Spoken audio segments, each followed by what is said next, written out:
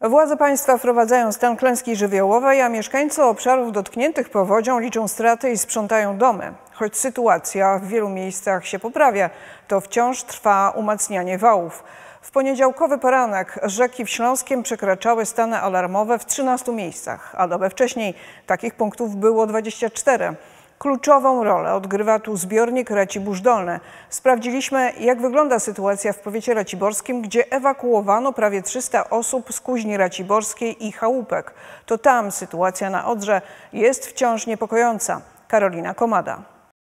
Zabełków w gminie Krzyżanowice. Tutaj woda już zostawiła po sobie wyraźny ślad. Zalane domy, piwnice i nie tylko. Trwa wielkie sprzątanie po intensywnych opadach deszczu. W momencie się poziom wody podnosił. No rano my to tu zostali, jak do pracy my przyszli. No i trzeba się ratować, żeby mieć gdzie pracować. No, panele, które były na podłodze są e, e, zalane, uszkodzone. Jest dużo roboty, ale narobiło to w 97. Sytuacja w sąsiadujących chałupkach jest jednak gorsza niż ta z 97. Z wioski ewakuowano 200 osób, a poziom Odry przekroczył historyczny stan sprzed 30 lat, czyli 912 cm.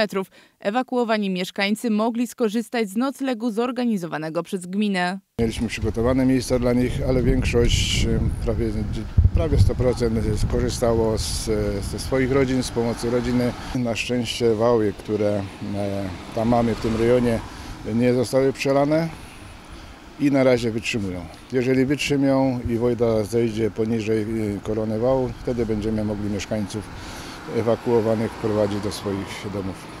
Sytuacja w Krzyżanowicach się stabilizuje, choć są mieszkańcy, którzy wciąż niepewnie patrzą w zapełniony po brzegi polder buków. Nie było żadnych potopień, tylko ludzie po prostu się wczoraj przestraszyli i auta wszystko wyżej się wywoziło, wszystko z piwnicy się wyciągało. No każdy, bo my akurat w takim dole mieszkamy, to jakby tutaj przelało, to nas zaleje. No. Zalać nie powinno, choć polder Buków wykorzystał całą swoją rezerwę powodziową, to dalsze piętrzenie wody odbywa się w zbiorniku Racibórz Dolny. Polder ten przechodzi prawdziwy test, bo odkąd został wybudowany w czerwcu 2020 roku, to działał tylko przez chwilę w październiku 2020 roku. Racibórz Dolny przechwytuje nadmiar wody i łagodzi falę powodziową do takiego poziomu, by nie stanowiła zagrożenia. Dziś do godziny 15 przyjął łącznie około 108 milionów metrów sześciennych. Wszystko wskazuje na to, jeżeli spojrzymy sobie na te szacunki i na te prognozy, które mimo, że są coraz dokładniejsze, to jednak zawsze obarczone jakimś błędem bądź wrażliwe, e, szacujemy, że pojemność zbiornika Racibórz Dolny nie zostanie maksymalnie wykorzystana w czasie tego wezbrania.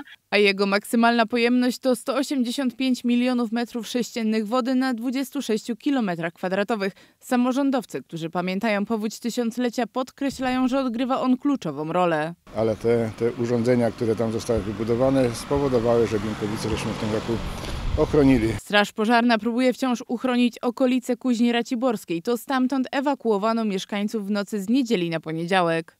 Obecnie na terenie e, powiatu raciborskiego mamy dwie kompanie OSP, które realizują zadania zabezpieczające e, miejscowości, e, które leżą przy rzece Rudzie.